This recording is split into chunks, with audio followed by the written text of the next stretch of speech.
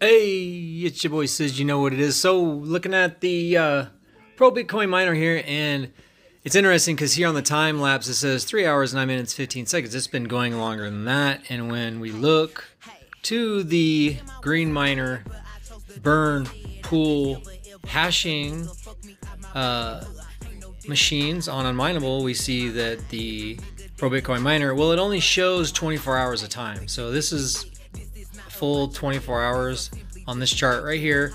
Hashing complete time with no drops. So that's really weird that the actual dashboard for the Pro Bitcoin miner is showing three hours, nine minutes, and 45 seconds. You saw it just flip right there uh, as it's um, collecting the data and showing that it's been running.